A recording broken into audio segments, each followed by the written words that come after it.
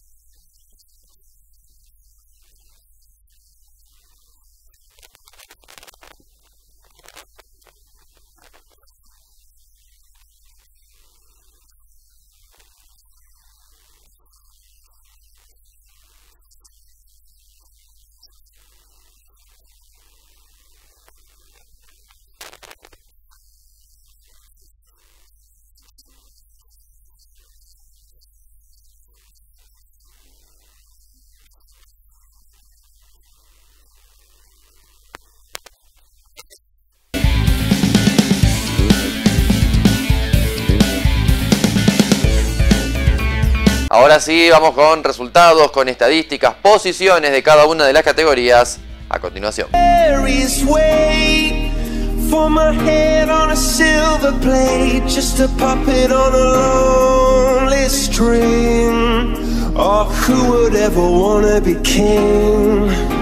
I hear bells Roman cavalry singing. Mission. Bien, y se ha jugado la fecha 6 del fútbol menor. Resultados, empezamos por novena división. La Emilia 5, Deportivo Mitre 0, 23 de junio 1, Trebolense 4, Susanense 0, San Martín 3, Unión Sastre 0, Juventud Unida 6, Americano 0, Atlético Sastre 1, El Expreso 1, Piamonte 3, Unión Los Cardos 2, Juventud Guadalupe 0, General San Martín 0, Atlético San Jorge 1. De esta manera, la tabla indica que tiene 16 puntos Atlético Sastre y la Emilia, 15 para Juventud Unida, 12 para San Martín, 23 de junio y Americano de Carlos Pellegrini. Séptima división, la victoria de Mitre de visitante 2 a 1 ante la Emilia, 23 de junio 1, Trebolense 0, Susanense 0, San Martín 2, Unión de Sastre 0, Juventud Unida 2, Americano 1, Atlético Sastre 1, El Expreso 4, Piamonte 1, Unión Los Cardos 0, Juventud Guadalupe 1, General San Martín 2, Atlético San Jorge 2. Posiciones, líderes para 23 de junio y El Expreso, ambos con 16 puntos, 11 para Trebolense, Atlético San Jorge y Guadalupe, 10 para Deportivo Mitre, las principales posiciones. En quinta división, la Emilia derrotó 2 a 0 a Deportivo Mitre, Susanense 1, San Martín 2, Unión de Sastre 0, Juventud Unida 3, Americano 1, Atlético Sastre 0, El Expreso 1, Piamonte 1, Unión Los Cardos 1, Guadalupe 2, General San Martín 1, Atlético San Jorge 1 y las posiciones indican que el puntero de quinta división es San Martín con 16 puntos, 14 tiene Americano, 13 puntos para Guadalupe, 10 para la Emilia, 9 para Trebolense, Juventud Unida, las principales posiciones de quinta división. Recordemos que 23 de junio no participa en el torneo de quinta categoría. Se ha jugado entonces la fecha 6 del torneo de apertura de fútbol menor. For my head on a silver plate Just a puppet on a lonely string Oh, who would ever wanna be king? I hear Jerusalem bells are ringing, Roman cavalry choirs are singing. Be my mirror, my sword and shield, my missionaries in a foreign field. For some reason I can't explain, I know St. Peter won't call my name. Never an honest word, but that was when I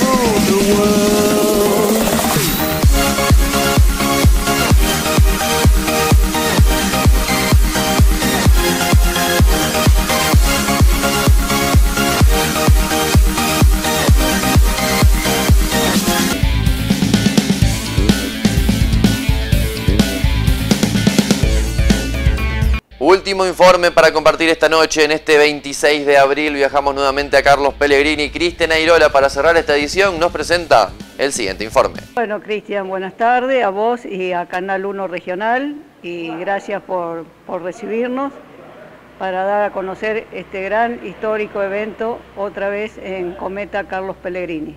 Bueno, esto se trata eh, ya hace un mes y algo que venimos trabajando donde se va a hacer este año el, Gran Provincial de Damas de Parejas de la Federación de Bocha de la provincia de Santa Fe, juntamente con Asociación del Departamento San Martín, siendo sede organizadora, anfitriona, Cometa Bochas Carlos Pellegrini. Bueno, eh, este, este tipo de torneos, para los que no saben, se hace todos los años en distintas localidades o ciudades de la provincia de Santa Fe. Este año nosotros, debido al, gran éxito que tuvimos del torneo de damas, el primero que se hizo el año pasado en agosto, directivos de acá de Cometa eh, se entusiasmaron y quisieron eh, pedir, para hacer un, un, argentino o un provincial. Y decidimos por el provincial porque un torneo argentino hoy te lleva mucho más gasto el doble más de gasto que esto y más, mucho más tiempo de trabajo. Entonces, bueno, se nos dio y felizmente vamos a poder hacer el primer provincial de damas histórico para Carlos Pellegrini, ¿no? Lo que tiene este torneo, como todos, casi todos los torneos provinciales, siempre llevan un nombre, eh, un homenaje, ya sea persona en vida, que yo siempre digo que es bueno hacerlo en vida los homenajes, porque uno lo disfruta mucho. Y si no, si no se puede en vida, alguna persona que, tenga trayectoria o, haya jugado alguna vez a las bochas, ¿no es cierto? Bueno, en este caso, hoy me toca a mí, cuando me llegó la noticia de que iba a llevar mi nombre, la verdad que me emocioné mucho porque, bueno, eh, después de 23 años de trabajo, si bien no por ser una, ¿cómo llamarlo? No soy ninguna campeona ni nada por el estilo, soy una jugadora más de, como todas, pero bueno, tengo una trayectoria de 23 años de laburo constante en las bochas y bueno, todo eso, el trabajo y todo lo que uno hizo todos estos años, eh, hoy lleva el reconocimiento hacia mi persona. La fecha va a ser el próximo 29 y 30 de abril. La Asociación San Martín, en este momento ya tenemos dos equipos confirmados, con un posible tercero.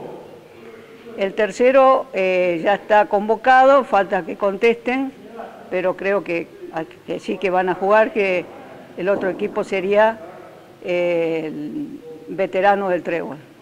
El primero Recreativo Las Rosas, segundo Cometa, en la que jugamos Celia Chabrando, eh, yo y Claudia Villarreal, que es una jugadora de Rafaela, y el técnico va a ser Carlos Basaco. Y después, en un tercer lugar, si juega veterano, que quedó tercero en la clasificación, o si no, se pedirá a, pasará el que sigue, pero casi seguro que, va a jugar veterano. Eh, en total son entre de 16 a 20 delegaciones porque hay lugar hasta 20, hasta 20 equipos. Hay delegaciones que han puesto dos equipos, en el caso nuestro a lo mejor tres, y bueno, pero en total son 16 delegaciones.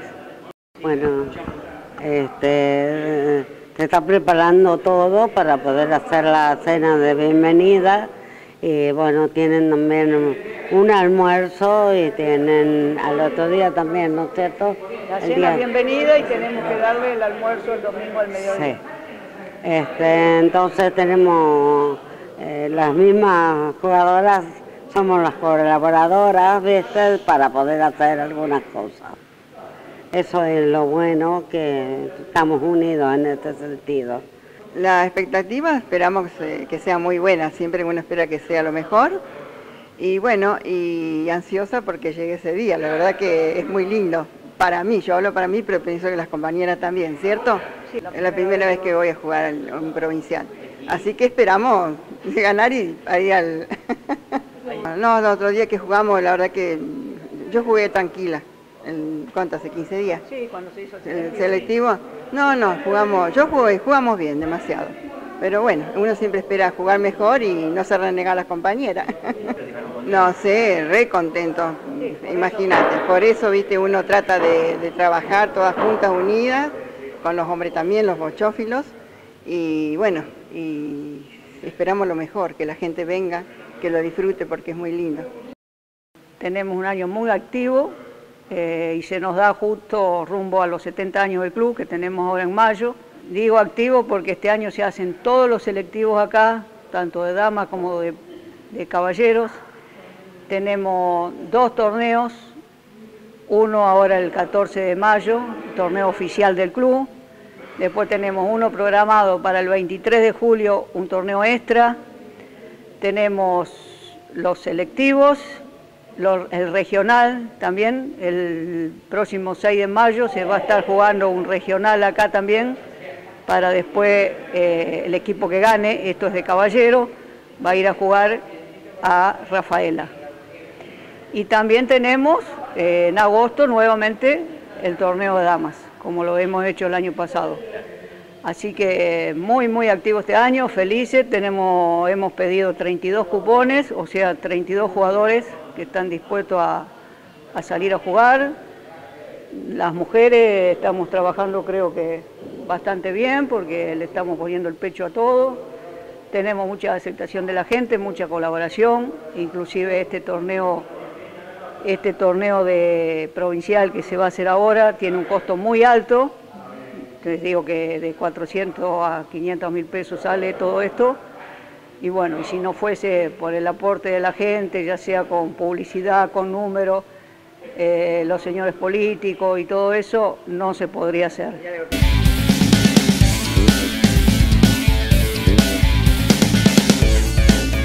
Y de esta manera cerramos esta edición de Uno en Deportes. Rapidito recordamos lo que tiene que ver con la información del básquet, porque se ha disputado una nueva fecha del torneo de ACBOS, un torneo que tiene como líder absoluto a Santa Paula de Galvez. Fecha que ha culminado justamente en la noche del día martes con los últimos dos partidos. Fecha 7 que tuvo a Brown 76, Atlético María Juana 94, Atlético Sastre 84, San Martín 78, Trebolense 87, Centenario 81, Americano 71, Juventud Unida 74 y la victoria brillante de Santa Paula por 88 a 63 frente a Atlético San Jorge. De esta manera, Santa Paula puntero con un récord de 7-0, 5-2 para Trebolense y Atlético Sastre, 4-2 para Atlético María Juana y San Martín de Carlos Pellegrini, 3-4 Juventud Unida, 3-3 Ceci, 2-4 para Centenario, 1-5 para Brown y Atlético San Jorge y cierra la tabla con 0-6 Americano de Carlos Pellegrini. De esta manera entonces ahora sí culminamos esta edición de Uno en Deportes. Recordad que toda la información deportiva la encontrás al instante en www.canal1.com.ar y además en YouTube, Canal 1 OK, podés encontrar cada semana nuestras ediciones de Uno en Deportes. Como siempre agradeciéndole a Tentaciones que nos acompaña con su vestimenta y a ustedes que están del otro lado, será hasta el próximo miércoles.